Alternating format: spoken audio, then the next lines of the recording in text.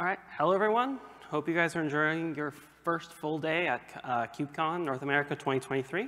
Uh, my name is Madelyn Olson.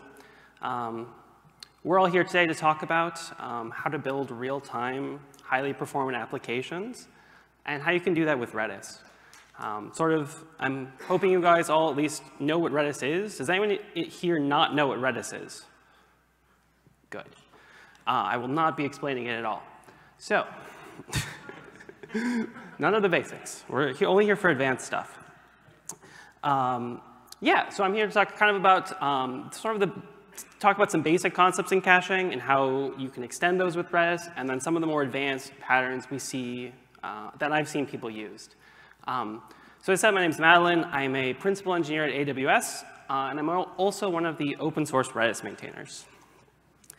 So I want to start off this talk by sort of just you know a little bit of a warning which is that a lot of people these days kind of view uh, like latency as like the new outage. Like a lot of people hear this quote where if someone sees your application being slow, that's like the number one reason for people to not come back. Um, but that doesn't necessarily mean you should put a cache there, which is what we see a lot of people do. And that doesn't always work great.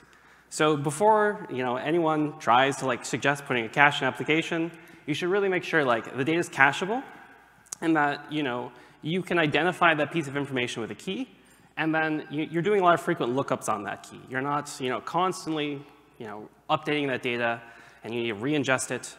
Um, so that's the first thing. The second thing is make sure that you're actually like experiencing the problem on the read path. We see a lot of people trying to figure out how to put caches on the write path, and they generally don't work out super well. You can do something, you can like buffer data, but that's not quite caching. We see people start losing data. Like, don't, don't do that either. Um, the other good reason to start adding cache is when you start hitting scaling limits. You usually want to start rethinking how your architecture works. If that's the problem you're having, it's probably not caching. Um, and also tolerate eventual consistency.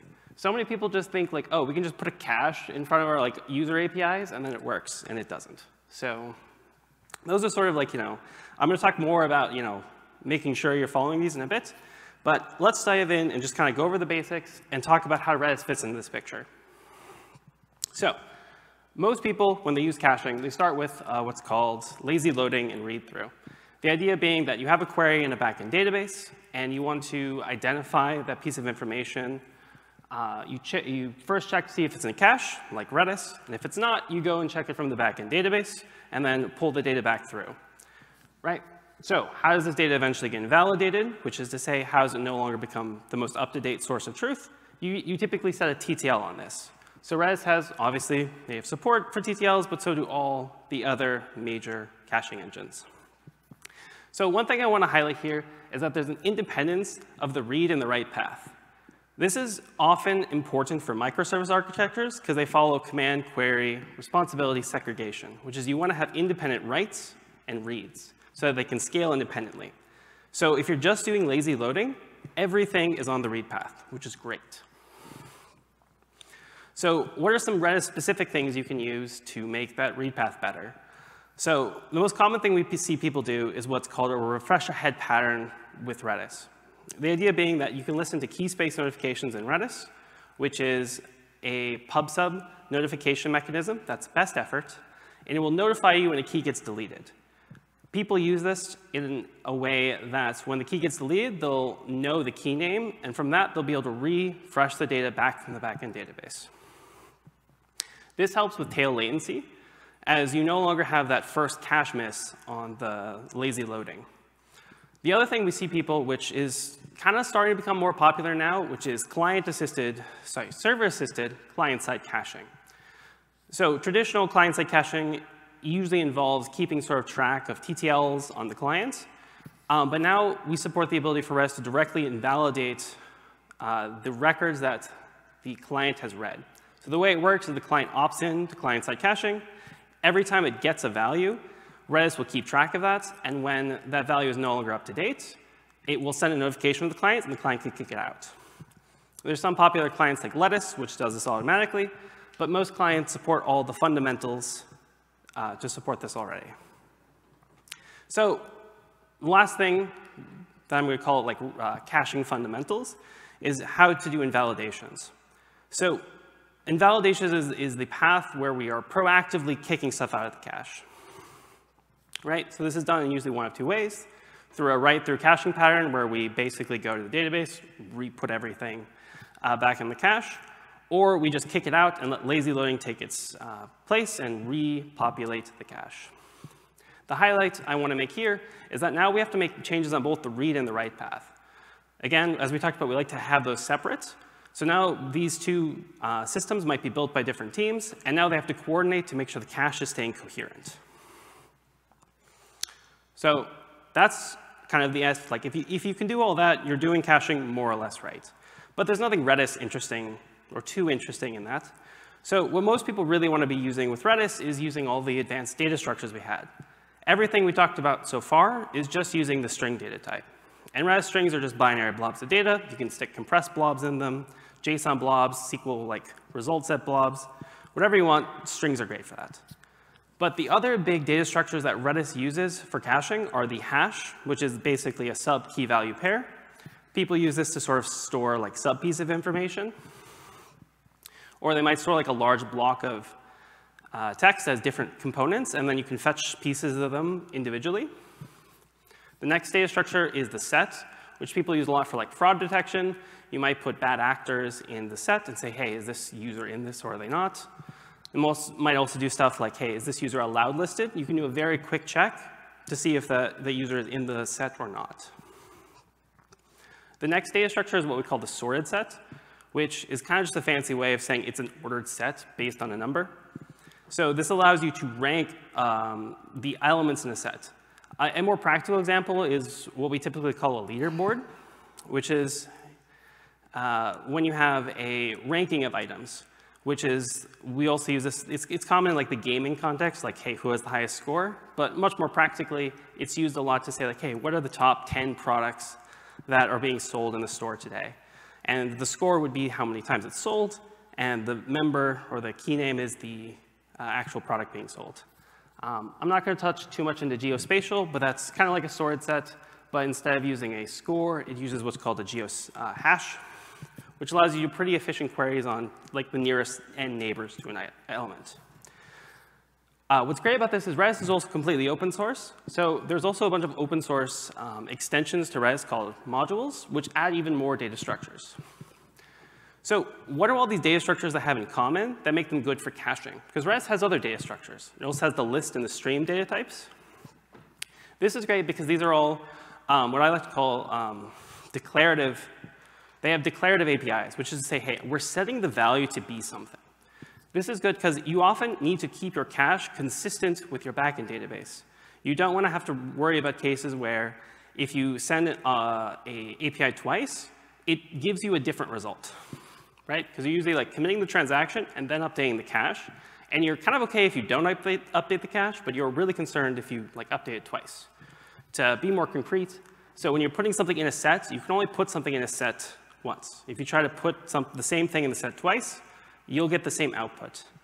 Um, this property is called idempotency, which is really great for caching. So let's walk through a little bit like what, what these actually might look like in like real workloads. So I'm going to talk a lot about this, like, this relational table for a little bit, which is just like, hey, we have this idea where you, someone's ordering products. Um, there's an order ID. There's some product ID that uh, defines what product we're ordering, and some customer is buying that. So when you're trying to think about caching with Redis, you should think a lot about the use cases.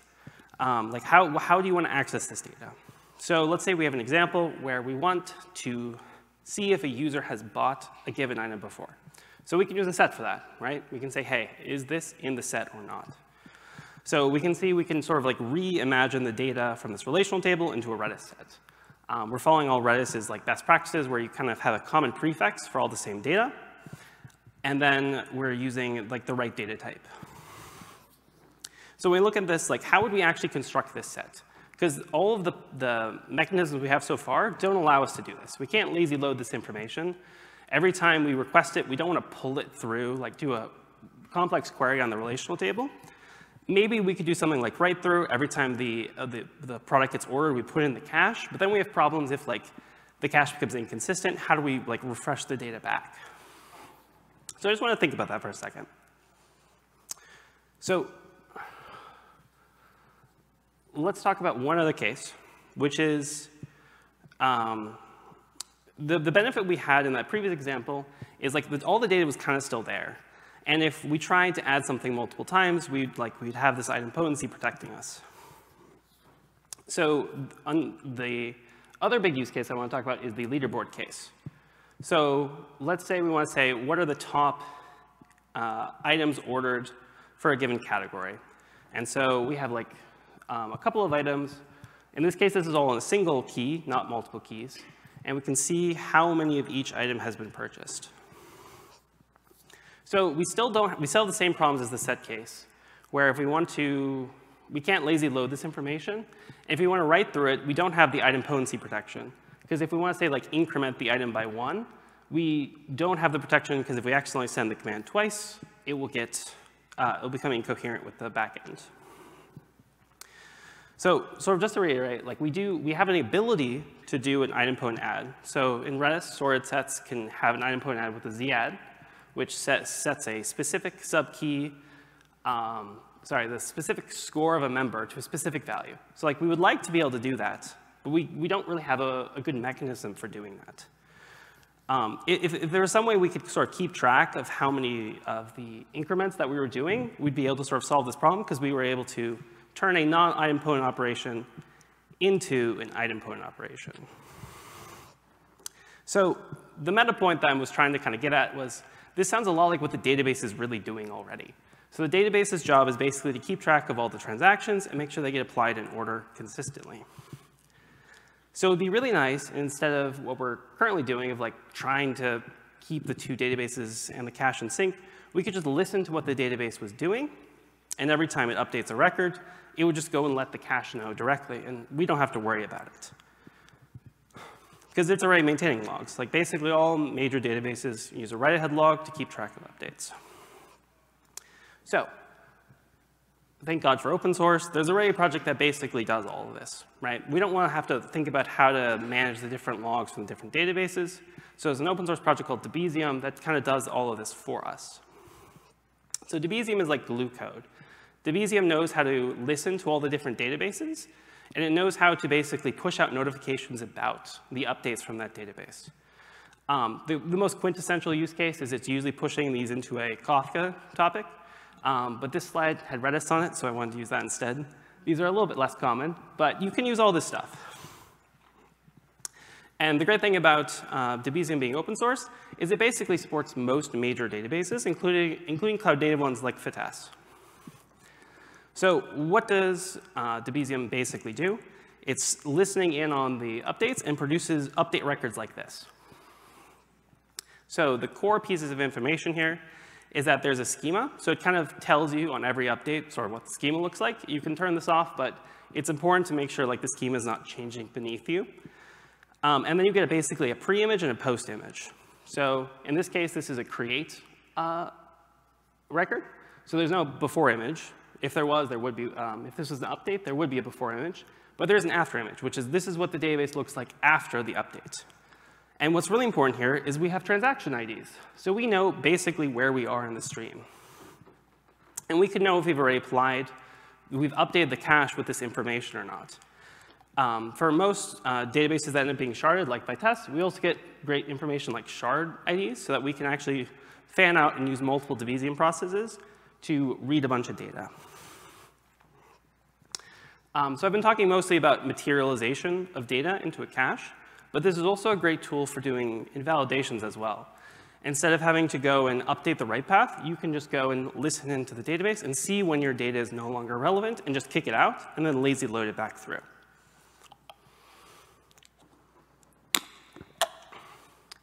Okay, so I would like to spend a few minutes and show you kind of like uh, you know, how this all works in practice.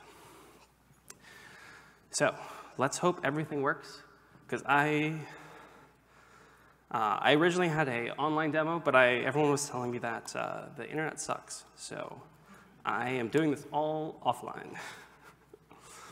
um, what do I want to show first? Um, so Debezium, pretty straightforward. Everyone can see this, right? Yeah, cool. So we have a very simple configuration that's saying, hey, We're using a sink type, which is basically what we're dumping data into. Uh, we're just using Redis, we're dumping it all in, and we have a source configuration, which is where we're pulling data out of. In this case, it's a MySQL database, the very insecure password. Um, most people probably won't use Debezium server. They'll use the normal Debezium, which um, is more natively connected directly with Kafka. But for this demo, I just am going to use uh, Debezium server itself, which is like the core piece of Debezium. So I don't have Debezium running right now. I just have a MySQL database and a Redis instance running. Uh, so, doo -doo -doo.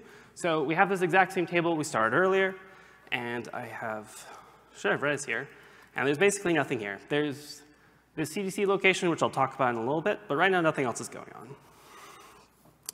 So to start off, I'm going to apply that change stream file we just had, and Debezium is now going to kick up and start running.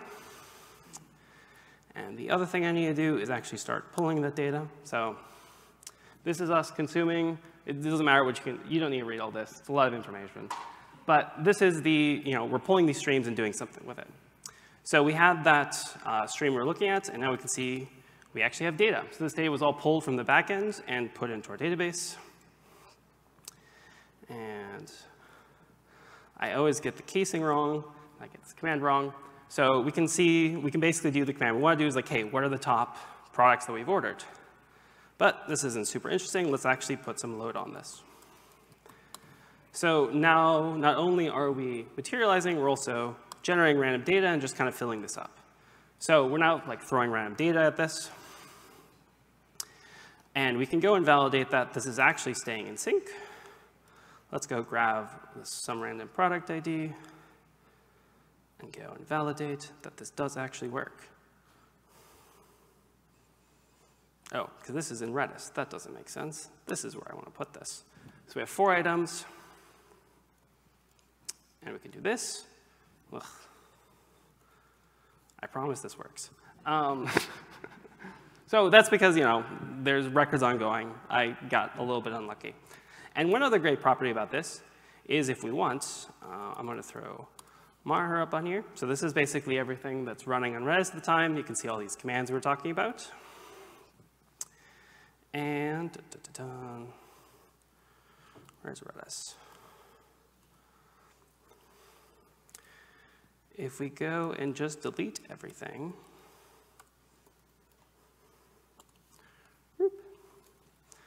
it will go and start refilling everything. That happened a little bit faster than I was hoping. Um, but I deleted everything, and we can show that eventually it all gets repopulated because it was able to go back to the beginning of the stream and re resume everything. Um, so there's a lot of glue code in this file, but there's really not that much actual code that we need to write. So in this case, we talked a little bit how we're generating these CDC events. And all we're doing is going and uh, parsing these messages that were generated. We're checking to see the operation that it was. Um, in this case, we talked about C being the create event. Um, MySQL specifically also has an R event, which is a read event, which is from a snapshot. And so this is, hey, when we're loading it back from a snapshot. This is because the way Debezium works is it goes and takes a full snapshot of the data set and then starts listening to ongoing changes. So you can turn this on on a running database uh, or you know, set it up before you start the database and it will work the same. This also means that if you somehow get a corruption inside your database and like your cache becomes incoherent, you're able to basically restart Debezium, it'll take a new snapshot and catch all the way back up. And so here's like kind of all the important code, I think it's a little bit smaller, which is that, hey, when we got a new record for the first time, we'll call sadd on it, which is set add, and we'll put it in. And if we uh, have duplicate records, they'll be kind of handled gracefully. And then the zincr case is when we're incre incrementing the sorted set uh, score by one. I mentioned a little bit about transaction IDs, so you can also do that with Lua scripts. You can basically, every time you update it, you can pass in, hey, this is the transaction ID I expect you to see. Is it the one you have? And if it is, update the transaction ID. Cool, so back to the slides. Oh no, that's fine. Okay. So get, it's worth saying now that this is sort of like a generic mechanism you can use. Like you don't have to be consuming from the database stream. You could also uh, put this as a, as a write ahead before the database as well.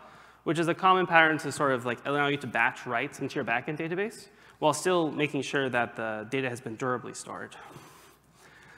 But the benefit of this is you do have those decoupled reads and writes, and so the applications can more or less uh, iterate independently.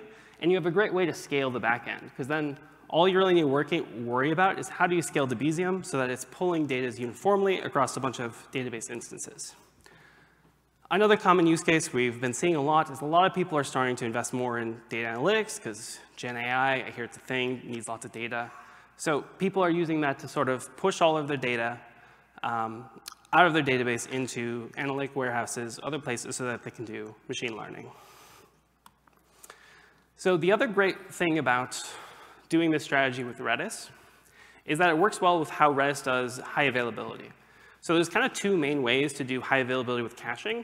The first is you do multi-writer. So when you have a write, you, you say you have like three backend nodes for caching. You write to all three, and you basically respond back when like two have written successfully. This means that there's often very subtle uh, incoherencies between individual nodes in the cache.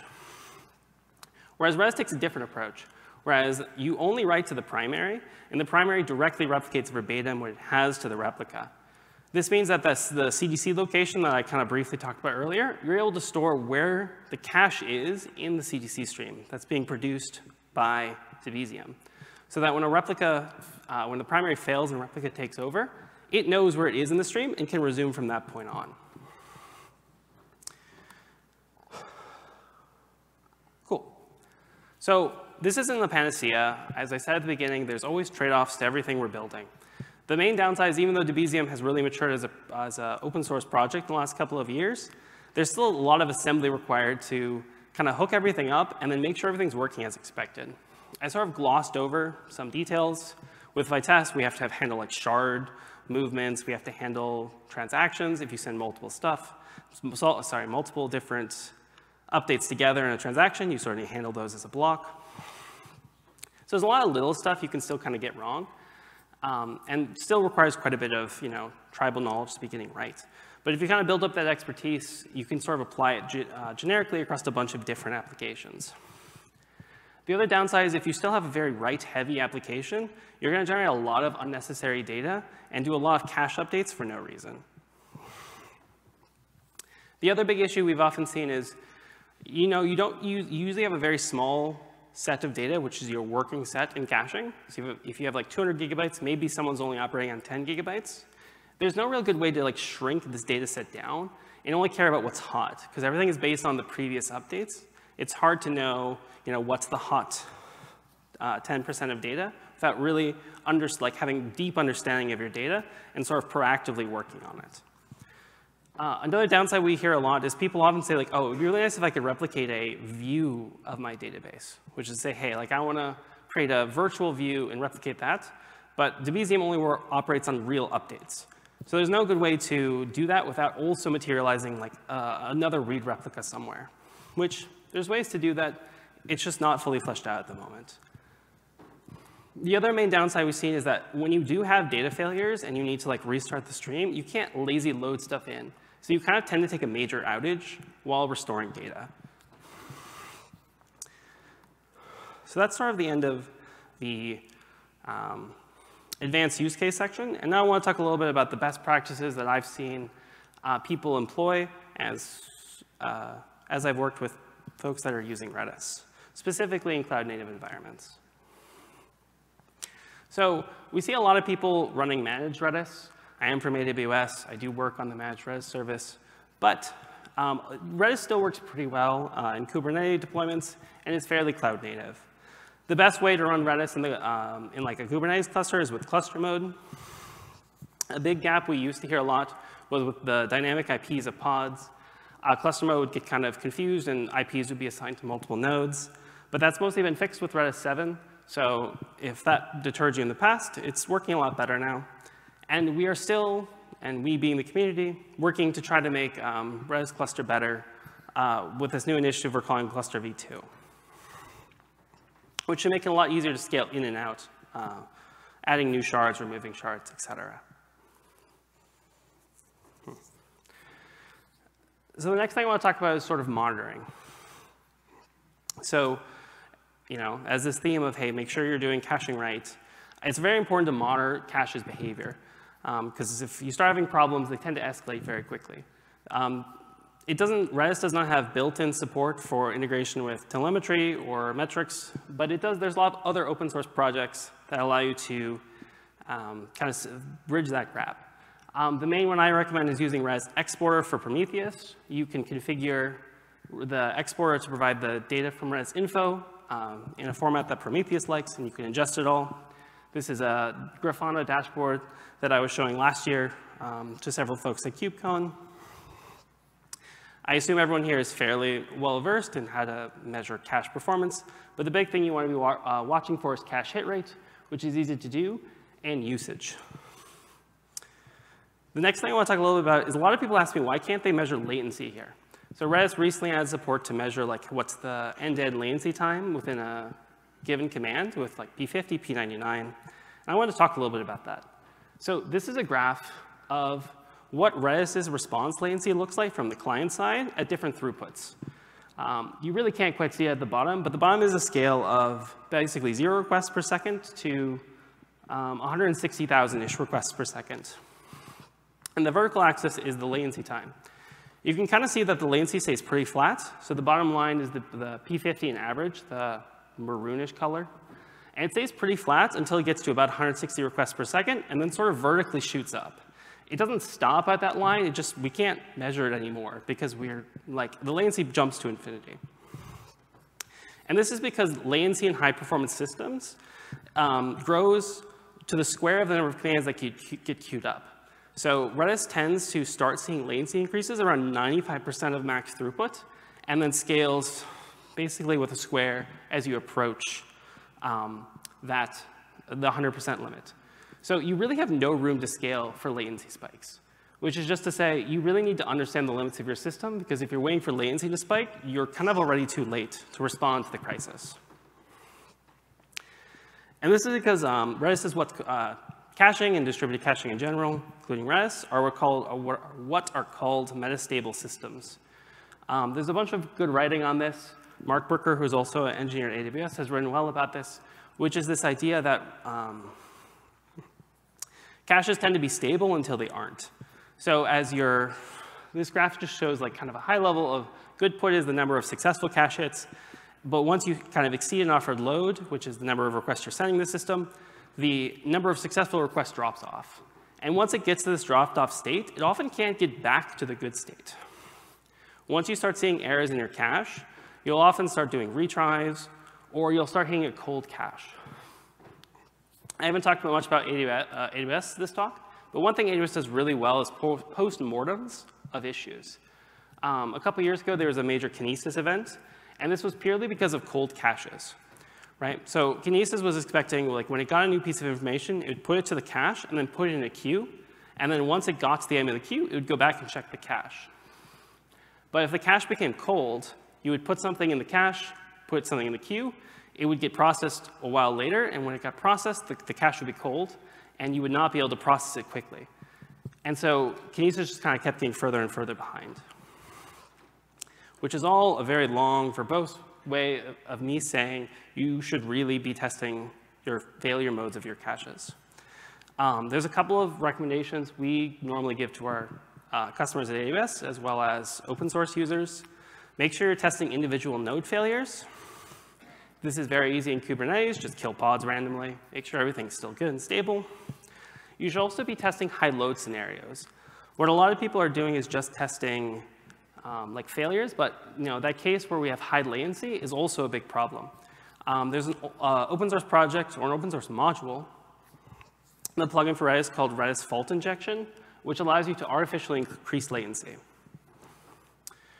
Uh, the other big thing that I would strongly recommend is try to avoid multi-node dependencies because they can exasperate failures. So we've seen a lot of this with like Feast uh, and other types of um, feature storage which people use. They have an offline primary store and then an online cache of features. And the way it works is they sort of fan out and request a lot of data at once. But the latency of that request becomes the tail. So the slowest node in the cluster becomes the, the, the latency of the entire request. So although sometimes it's unavoidable, it can cause high latency. And then lastly, you should be doing, um, like you should be periodically doing what I did in the demo, which is just flushing all the data and making sure everything comes back up. You might want not want to do this on a prod cluster. If anything, I would tell you not to do it on a prod cluster. But um, you should be testing it, and you should understand what happens um, so that when, when something does happen, you're, you're prepared for it. Um, so that's everything I had today.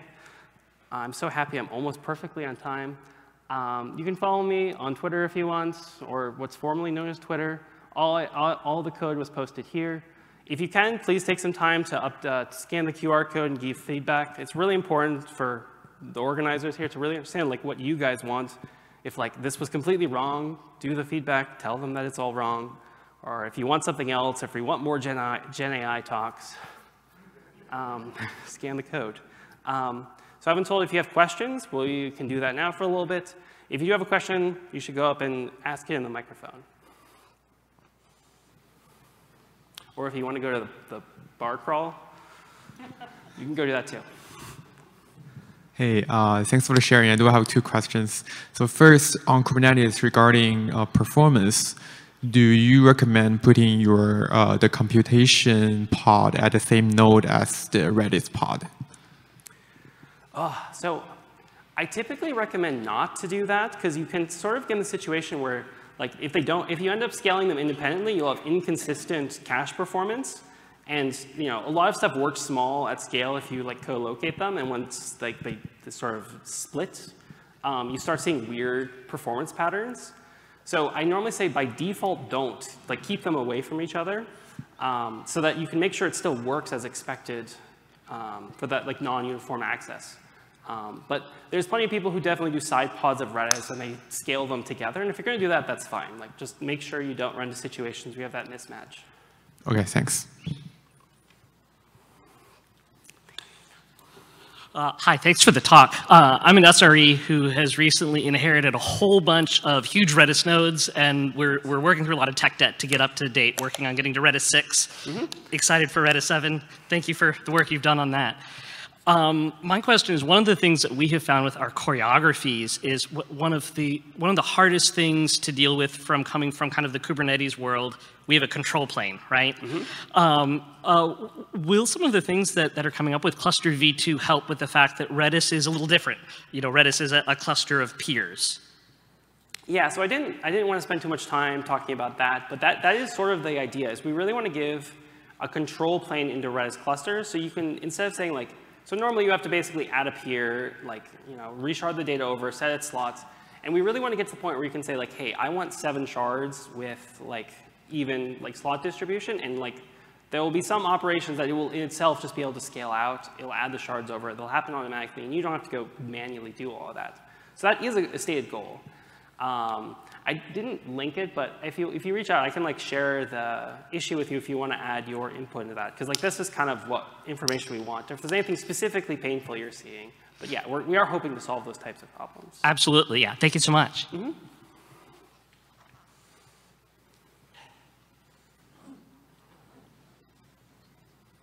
Cool. Well, if no one else has any questions, I'll be up here. I'll chill out. There's, there's not I think that there might be beer in the main hall, but I'll, I'll be here for a little bit anyways. Cool. And thank you all for coming.